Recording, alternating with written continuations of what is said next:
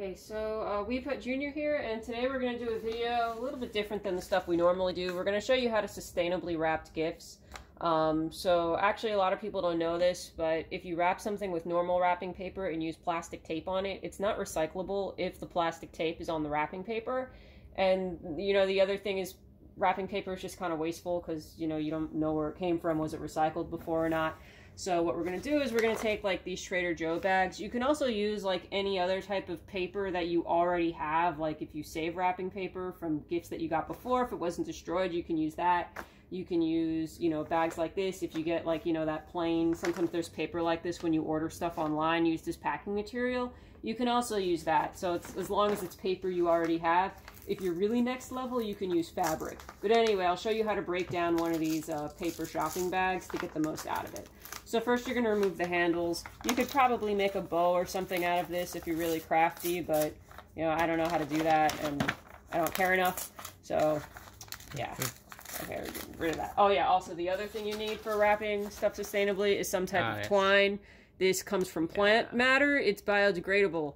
So you can use, you know, this type of thing. It's it's good. Yeah, so Okay. paper you already have or something like that. Okay. So now that you've removed the handles, you're going to look for, like, there's going to be a seam somewhere on the bag. Sometimes it's on the side, sometimes it's on the back. So you're slowly going to go down the seam. If you have an X-Acto knife, that can probably help you with this, but, you know, you don't rush this. Like, you can't do this quickly.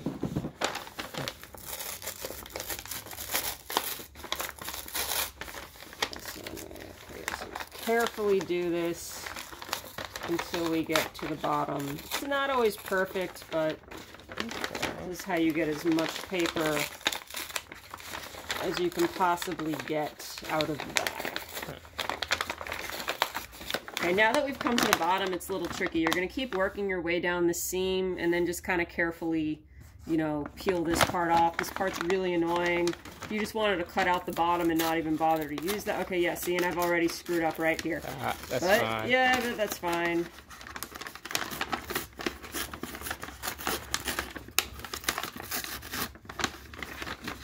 Yeah, this is actually how they used to wrap gifts when plastic tape wasn't a thing. So we're not really showing you anything new. This is just, you know, stuff that a lot of people have forgotten since, I don't know, plastic tape became a thing. I don't even think people uh, consciously think of like tape as like plastic. There's like, oh, that's just tape material. Yeah. Like I, I've Anyway. never really thought of it that way either. Right, anyway, so now we've, okay, still gotta work some of the corners. We have our big piece of paper to work with. Nice. So depending on the size of the gift that you have, and we can totally show you this gift because the people who are gonna get it aren't gonna be watching this video. this channel's not for kids, a reminder. Right. YouTube Kappa. Okay, so now you have to figure out the best way to do this, which can be kind of tricky at first. You want to get it to the point where we're going to wrap it, fold the thing over itself, like if we look at the back of this one that's done. Okay, the back looks kind of nasty, but the top looks alright. I don't know, it kind of has like a rustic look to it. Some people like that, it fits their Instagram or whatever. Nice. Um, yeah, so, you know, we would fold it over kind of like this. We want to wrap it in on itself, like fold it over if you have enough. We're going to kind of fold it over like this. Be funny, you give this to kids, they're to think they got some boring crap from Trader Joe's, but it's actually a fun game. I don't know, maybe you have weird kids that like Trader Joe's. Anyway, so we fold it like this. That's good. Um, yeah, and, oh yeah, and if you have tips for doing a better job than I'm doing at this, I don't. Th- I think I'm going to use the whole piece here, Okay. Yeah. just because this is a bigger game. I didn't use the whole piece for the last one because it was a smaller game, and if you have Ah. leftovers, you can use this for wrapping smaller things. Okay, so let's see. So this, yeah, we're going to fold like this. I might trim off this spot here just because this looks kind of Ah, like yeah. an absolute mess. Uh, it's not terrible. It's better not than what I bad. usually do. Okay, your gifts look like bombs. I'm not joking when I say presents he's wrapped me look like they're bombs. yeah, they're terrible. And he would just cover the whole thing in tape and make it look. Okay, so now this does not look so bad from the Nice. top. Alright, so now what we're gonna do is we're gonna take some twine and okay, we folded it. Okay, no, we folded it the other way. We folded it this way. So we're going to slide it around this way first because this is what we want to keep tied. So we're going to flip it over. Send this stuff around to hold it together because we're not holding it together with tape. Hmm. Actually, no. This this looks kind of nasty. I'm gonna trim this part off just because it's I'm having OCD. Yeah. yeah. No, I don't want to say I'm having OCD because there's people who actually have OCD. Okay, so anyway, yeah. So do this. I'm gonna wrap that around. Get a little bit extra because you want to go around it maybe like twice or so. Actually, no, I'm not gonna yeah, take a little bit more. it's always okay if you have a little bit extra. And this twine is dirt cheap. Okay, so anyway, now that we have this, we're going to take it, we're going to twist it around itself. We're not going to tie a bow just yet, but we're going to go around in this direction one more time because we want to make sure it's being held together.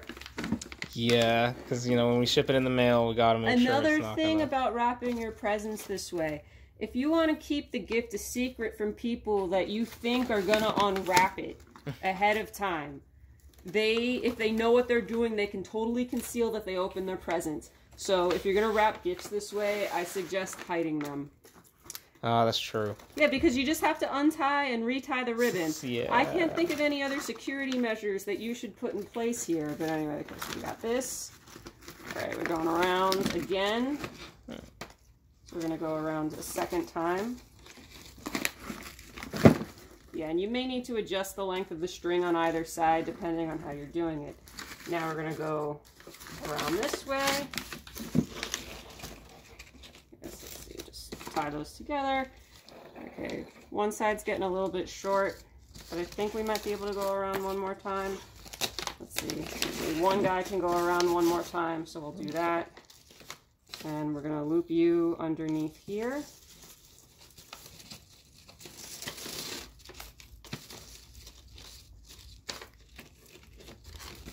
And loop this one around just to secure it. Uh, maybe you could do some crazy little loop technique. They'd have to be careful and replicate. and if they don't replicate it, you'll know they spied on what their gifts are.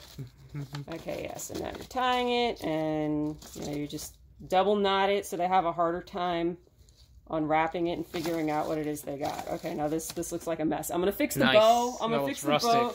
Okay, whatever. Okay, so it looks like this. And yeah, there you go. So these are some sustainably wrapped gifts. The paper is totally biodegradable and it's reused. And the twine is totally biodegradable and you can reuse it for stuff too. So yeah, so go save the planet. Uh, save money on wrapping paper too. I mean, cool. people could accuse you of being cheap, but you know, you can decorate this nicely too. Like you can write people's names on here.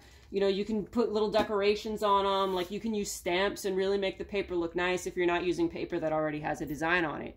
So I don't know, you guys, have you done anything like this before? Um, yeah, so let us know what you think uh, in the comment section, and remember to like and subscribe. Weebhut out. Yes.